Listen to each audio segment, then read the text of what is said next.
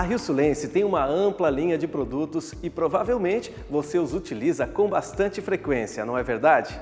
Por isso, é fundamental ficar sempre atento às características de cada um deles para conquistar a melhor performance na aplicação. O primeiro produto que vamos abordar é o tucho de válvula, que pode ser mecânico ou hidráulico. Essas peças atuam como elemento intermediário entre o eixo de comando e o balancim no processo de abertura e fechamento das válvulas. Os tuchos têm passado por uma transformação nos últimos anos. Alguns veículos ainda utilizam os tuchos mecânicos, mas os mais novos desenvolvidos recentemente trazem seus motores os tuchos hidráulicos, mais comuns na linha leve. E com a tendência dos tuchos mecânicos serem cada vez menos utilizados, a Rio Sulense se destaca como uma das poucas metalúrgicas que ainda produz essas peças. A principal diferença entre os dois modelos é que o tucho hidráulico elimina as folgas, pois é preenchido com óleo por meio de um pequeno orifício em sua estrutura, que movimenta um pistão interno. Dessa forma, o tucho hidráulico garante menos atrito e barulho, além de aumentar a durabilidade de todo o conjunto de componentes ligados a ele. O tucho mecânico, por outro lado, precisa de uma folga. Essa folga é crucial para as possíveis dilatações que acontecem devido às altas temperaturas que o motor alcança. A Rio Sulense produz mais de 50 modelos de tuchos entre mecânicos e hidráulicos. Nessas imagens, você pode conferir alguns deles, assim como as montadoras que os utilizam.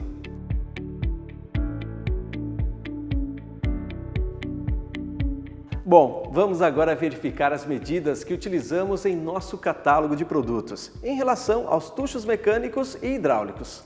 Acompanhe. A letra A indica o diâmetro externo, a letra B indica o diâmetro da cabeça e a letra L indica o comprimento da peça. Conhecendo a aplicação e essas medidas, fica mais fácil acertar no pedido do produto que você precisa.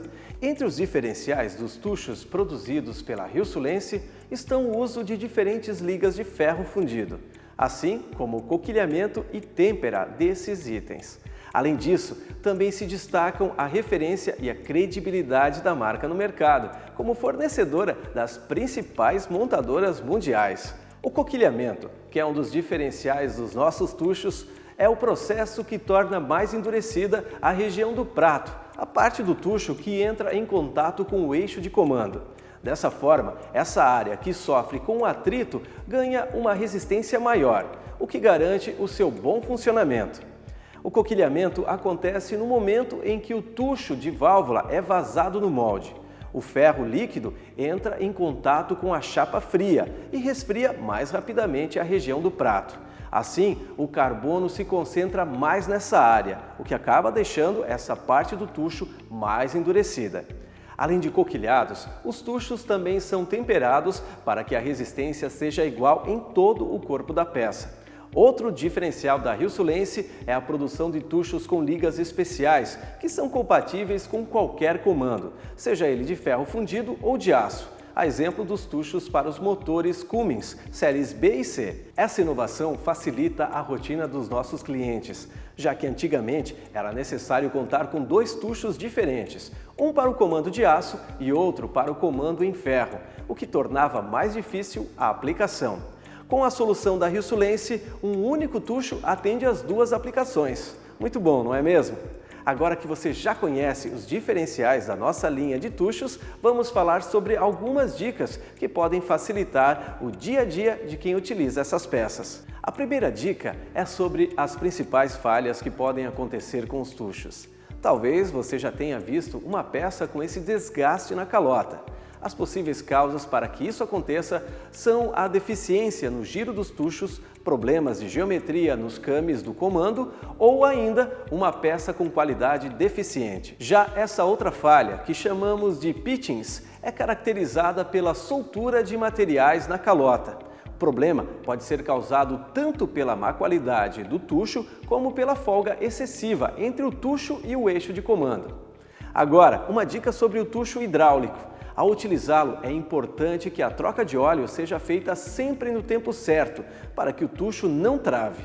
Também é fundamental verificar o filtro de óleo, pois as impurezas filtradas por ele podem ser prejudiciais ao bom desempenho do motor. Para terminar esse módulo, queremos que você conheça os nossos 10 tuchos mais vendidos. Entre as curiosidades dessa lista está o tucho voltado aos motores de Fuscas e Combis, que ainda é um dos mais vendidos pela Rio Sulense. Dá uma olhada!